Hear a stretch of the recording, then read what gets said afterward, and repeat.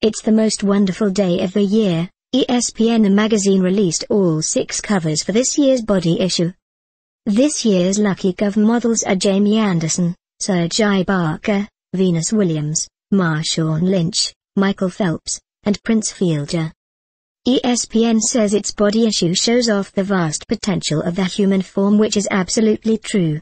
It is part of an athlete's job to be in tremendous shape and it is incredible to see what the human body is capable of when it is pushed to its limits. There is absolutely no shame in staring at these bodies, so go right ahead. Olympic snowboarder Jamie Anderson told ESPN, I don't think I'm your typical rock-hard ripped girl. But that's what I love and embrace about myself. I feel good, but I always feel like I can be better. That's what I thrive on.